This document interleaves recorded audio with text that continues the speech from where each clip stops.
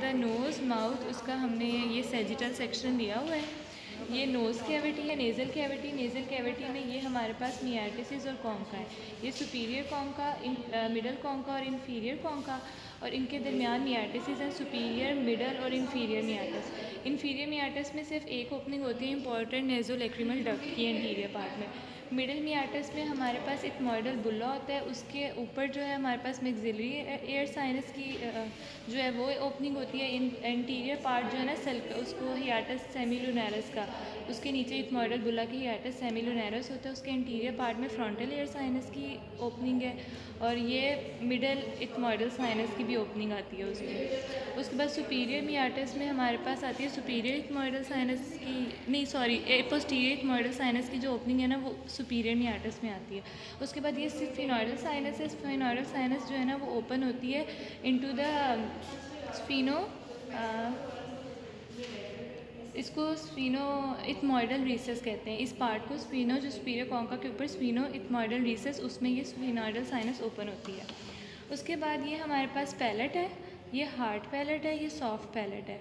Hard palate के two components हैं, ये जो मैगजिलरी बोन से बन रहा है और ये जो जो पर उसका है पैलेटिन बोन का पार्ट हॉरिजॉन्टल पार्ट और ये सॉफ्ट पैलेट है।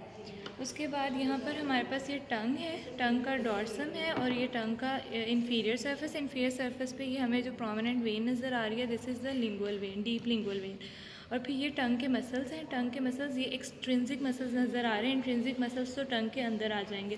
एक्सट्रेंसिक मसल्स में ये हमारे पास मैंडिबल से जो अराइज कर रहा है जीनियल ट्यूबरकल से ये जीनियोग्लॉसिस है।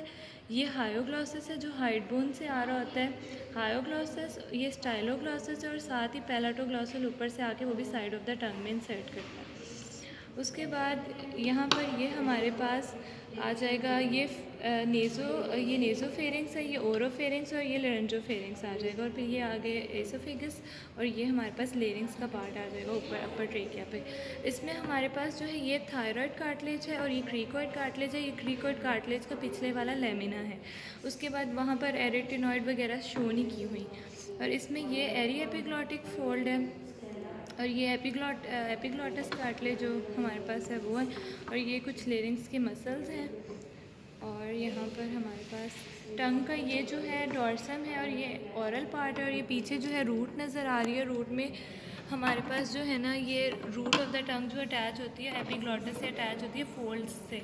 उसको ग्लॉसो एपिग्लॉटिक फोल्ड्स भी कहते हैं और उस मीडियम ग्लॉसो एपिग्लॉटिक फोल्ड्स के इधर दोनों साइड्स पे डिप्रेशंस होते हैं जिनको वेनिक्यूला कहते हैं। और यहाँ पर हमें थोड़ा सा यहाँ पर करके सरकम विलेट पेपिला नज़र आ रहे हैं, जो कि ये वी शेप सल्कस है, जो कि ओरल और पीछे रूट ऑफ़ द टंग को सेपरेट करती है।